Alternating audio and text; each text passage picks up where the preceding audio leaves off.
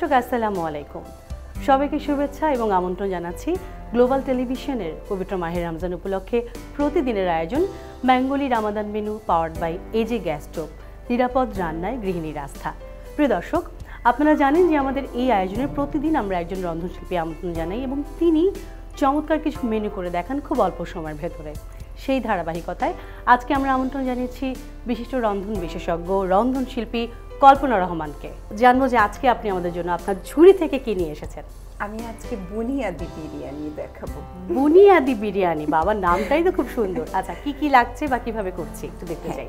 এখানে আমাদের লাগবে আদা বাটা রসুন বাটা পেঁয়াজ বাটা ধনে গুঁড়ো বাদাম বাটা চিনি মরিচের গুঁড়ো ঘি জেলি আলু বোখারা ধনে গুঁড়া মাওয়া লেবুর রস tomato sauce soya sauce oyster sauce আচার কাবাব ছোট করে কাবাব বানানো লবণ কয়লা সরিষার তেল আস্ত মশলাগুলো সাজানোর জন্য লেবু আর ডিম পেঁয়াজ বেরেস্তা টক দই দুধ চাল এবং মেইন যে দুটো ছাড়া আসলে হবে না। মুরগিটাকে মাখাতে হবে প্রথমে সব কিছু দিয়ে। আদা বাটা এক টেবিল চামচ। রসুন বাটা এক চা চামচ। পেঁয়াজ বাটা দুই টেবিল চামচ। ধনে গুঁড়ো এক চা চামচ। বাদাম বাটা এক টেবিল চামচ। মরিচের গুঁড়ো, দেড় চা চামচ, জেলি দুই টেবিল চামচ, জিরে গুঁড়ো এক চা চামচ, লেবুর রস অথবা সিরকা, যে কোনোটা দেওয়া যাবে, দুই টেবিল চামচ, টমেটো সস দুই টেবিল চামচ। সয়া সস এক চা চামচ। ওয়েস্টার সস এক চা চামচ। আমের আচার অথবা জলপাইয়ের আচার যে কোনোটা দেওয়া যাবে। এখানে দুই টেবিল চামচ একেবারে ইয়ে সহ তেল। তেল। সহ আমরা দিয়ে দিব। দইটা দেব দুই টেবিল চামচ। এবার এটাকে খুব ভালো করে মাখিয়ে নিতে হবে। তুমি এবার চুলোটা জ্বালিয়ে দিতে পারো ওই কড়াইয়ের চুলোটা এই যে গ্যাস স্টোভটা জ্বালিয়ে দিচ্ছি। এটা করে কি কিছুক্ষণ সময় রাখতে হয় নাকি হ্যাঁ?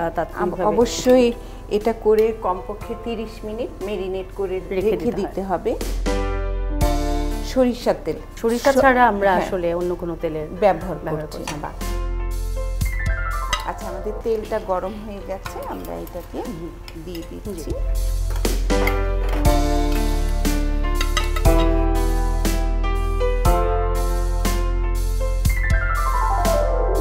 এটাকে একটু জানি আপনার কাছে, আপনি ওমেন্স কালিনারি অ্যাসোসিয়েশনের সম্মানিত সহ সভাপতির দায়িত্বে আছেন। এই যে এত বড় একটা প্রতিষ্ঠান, এছাড়াও আপনি আরও বিভিন্ন জায়গায় সোশ্যাল মিডিয়াতে একদম অ্যাক্টিভ থাকেন। কি করে ব্যালেন্স করেন সব কিছু আসলে এই কাজটাকে আমি খুব ভালোবাসি। আইটিআইসিতে যে স্টুডেন্টরা আমাদের ইয়ে করে প্রশিক্ষণ নেয় জি। তারা প্রশিক্ষণ নিয়ে আজকাল কিন্তু শুধু বাংলাদেশে নেয়। দেশের বাইরে থেকেও তারা অনেক বড় বড় পুরস্কার নিয়ে আসছে। সেটা এটা অনেক বড় একটা পাওয়া। সেটা আমরা কি একটু দেখব কি অবস্থা? অলরেডি সরিষার তেলের যে একটা সুবাস ছড়িয়ে গেছে চারিদিকে। ফাঁকে চুলোটা জ্বালিয়ে দাও হ্যাঁ। আরও একবার আমাদের দরকার আরেকটি চুলা জ্বালাচ্ছি। হ্যাঁ দ্বিতীয় স্টেপে চলে যেতে পারি বুঝছ? এখন এই যে প্রায় সিদ্ধ হয়ে গেছে। জি।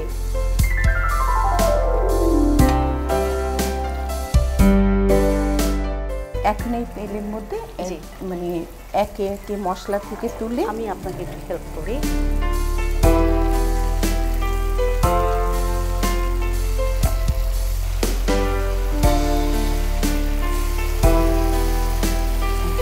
এটা হতে হতে আমরা এই ঝোলটাকে আমরা নামিয়ে নিচ্ছি।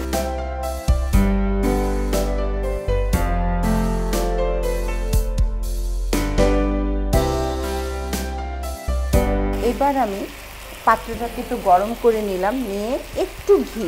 জাস্ট আমি এই পাত্রটাকে একটু অয়েলি করার জন্য। আর এখানে চালটাকে আমি বিশ মিনিট আগে ভিজিয়ে রেখেছি। আমি ভাতটাকে আধা সিদ্ধ করে এনেছি হ্যাঁ।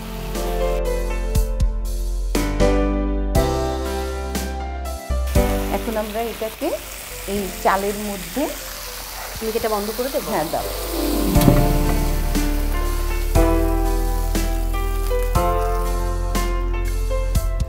যেহেতু এখানে জাস্ট অল্প করছি সেজন্য একবারই দিয়ে দিলাম। হ্যাঁ কিন্তু যখন আমরা বেশি করব সেই ক্ষেত্রে কিন্তু এখানে দুই তিনটা করে লেয়ার দিতে হবে।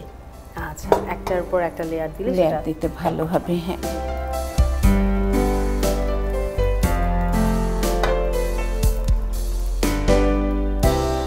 এখানে আমি কিছু কাবাব তৈরি করেছি। সেই কাবাবগুলোকে আমি কিছু এখানে দিয়ে দিচ্ছি। এখানে নিয়েছি বেরেস্তা। বেরেস্তার সাথে আমি দিয়ে দিচ্ছি দিচ্ছি মাওয়া।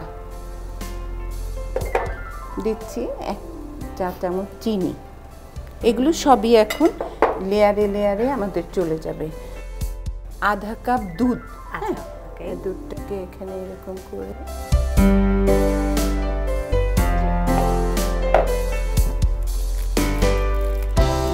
একটা বাটি বানিয়ে নিলাম। এখন। ফয়েল পেপার দিয়ে। এবারে যে কয়লাটা ধরে গেছে কিন্তু জি। কয়লাটা এখানে দেব। দিয়ে একটু ঘি দিয়ে দেব দিলেই দেখো একটা সুন্দর ধোঁয়াটা ধোয়াটা তাড়াতাড়ি এটাকে ঢেকে দিতে হবে। এবার আমরা ২০ মিনিট দমে রাখব। আমার মনে হয় বিশ মিনিট হয়ে গেছে। আমরা একটু ওপেন করি। হ্যাঁ। দেখো আচ্ছা তাহলে আমরা এবার সার্ভ করি এটাকে তুলে দিই। দেখো অনেক সুন্দর একটা টেক্সচার এসে গেছে ঝরঝরা। লেয়ারে লেয়ারে থাকার কারণে প্রতিটি জায়গায় মশলাটা এবং মানে সমস্ত কিছু মিশ্রণটা খুব সুন্দর হয়েছে। হুম। খেতে কিন্তু দারুণ মজা লাগে জানো?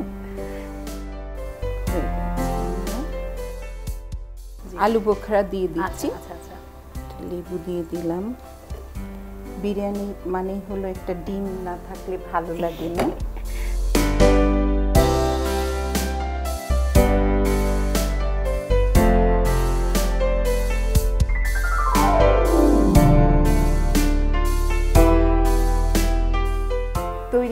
গেল আমার বুনিয়াদি বিরিয়ানি। চমৎকার আজকের মেনুটা আসলে চমৎকার কারণ সব দিক থেকে দেখে পরিপূর্ণ একটা মেনু মনে হচ্ছে আপু। আপনাকে অসংখ্য ধন্যবাদ এত ব্যস্ত সময় থেকে আজকে সময় দিয়েছেন। অগ্রিম ঈদের শুভেচ্ছা রইল। বন্যা তোমাকেও অনেক অনেক ধন্যবাদ। প্রিয় দর্শক দেখলেন তো কত অল্প সময়ের ভেতরে বুনিয়াদি বিরিয়ানি রান্না হয়ে গেল। আপনাদের সুবিধার জন্য পুরো প্রণালীটি আমরা আরও দেখাচ্ছি। বুনিয়াদি বিরিয়ানি। আদা বাটা এক টেবিল চামচ রসুন বাটা এক টেবিল চামচ বাদাম বাটা এক টেবিল চামচ পেঁয়াজ বাটা দুই টেবিল চামচ সরিষা বাটা এক টেবিল চামচ সয়া সস এক টেবিল চামচ ওয়েস্টার সস এক চা চামচ সিরকা দুই টেবিল চামচ আমের আচার দুই টেবিল চামচ জেলি এক টেবিল চামচ পেঁয়াজ বেরেস্তা হাফ কাপ মাওয়া দুই টেবিল চামচ ভাজা কোপ্তা এক কাপ মরিচ গুঁড়া দেড় চা চামচ গোলমরিচ গুঁড়া কোয়ার্টার চা চা চামচ জিরা গুঁড়া এক চা চামচ গ্রিল মশলা এক টেবিল চামচ সরিষার তেল এক কাপ ঘি, এক টেবিল চামচ, টক দই, দুই টেবিল চামচ, পোলাও চাল, পাঁচশো গ্রাম, এলাচ, দারচিনি, বড় এলাচ, স্টার আনিস, তেজপাতা, সবগুলো দুই টুকরো করে লবণ, স্বাদ মতো, লেবুর রস, এক টেবিল চামচ, আলু বোখারা, চার থেকে পাঁচটা, কমলা এক টুকরা, টমেটো সস, দুই টেবিল চামচ। প্রিয় দর্শক, দেখে নিলেন তো পুরো সেহেরি, ইফতার সহ ঈদের দিনও কিন্তু এই চমৎকার বিরিয়ানি রান্না করে এবং তার সঙ্গে সঙ্গে শেষ করছি আমাদের আজকের ম্যাঙ্গোলি Ramadan menu power by AG gas নিরাপদ রান্নার গৃহ ব্যবস্থা। আগামীকাল আবার ফিরে আসব, সঙ্গে নিয়ে আরও একজন গুণী রন্ধনশীল সেই পর্যন্ত আপনার ভালো থাকুন, সুস্থ থাকুন গ্লোবাল টেলিভিশনের সঙ্গেই থাকুন। আল্লাহ হাফিজ।